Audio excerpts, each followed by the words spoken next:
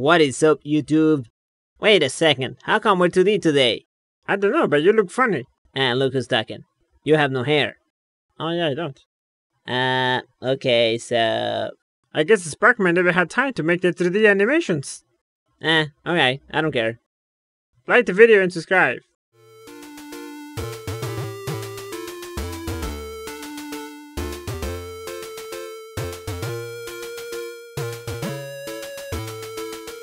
Welcome to another video, my name is Sparckman, I'm a game developer. Today we're going to make our characters switch weapons. Alright, so let me show you the demo. going to press spacebar to shoot. And you can see that he shoots. I'm going to press 2 on my keyboard. Alright.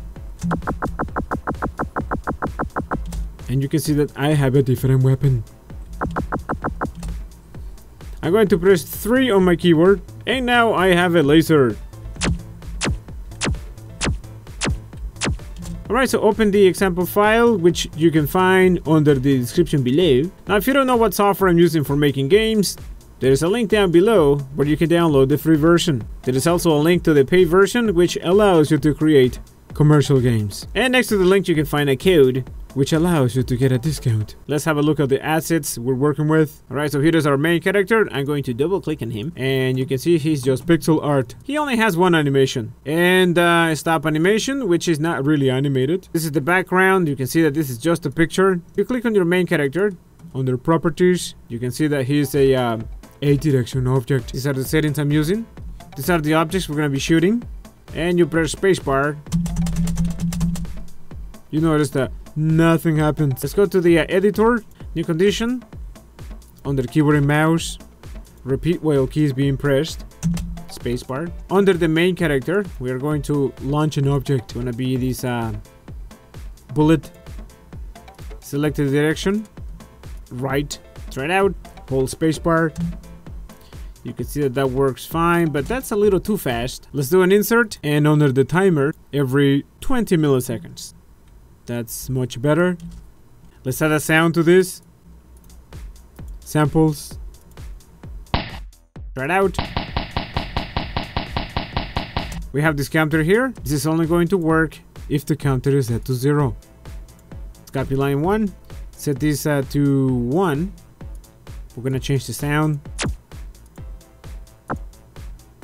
Now we just need a way to change the counter. If the user presses uh, 1, then we're gonna set our counter to 0. Copy line 3, paste it, replace it for 2. Let's set the counter to 1. Try it out. Going to start at 0. That works fine. Let's press 2. Now this one should shoot a little faster. Set it to maybe 15 milliseconds. Okay, that's the first one. Second one. And that's not too bad. Let's do the laser. Copy. Set it to 2. And um, if the user presses uh, 3, I'm gonna set the counter to 2. Going to uh, delete these. Launch an object, the laser, select the direction. And uh, maybe that's a little too fast. Let's slow it down. 45 milliseconds. Try it out. Press 2 and press 3 and that's our laser. Laser should make a different sound. That's better. Third one. Alright, so if you like this video, give it a thumbs up. If you didn't like the video, give it a thumbs down. Don't forget to check out my other channel, the Sparckman Vlog. So subscribe to the channel, follow me on Twitter, and I will see you in the next episode.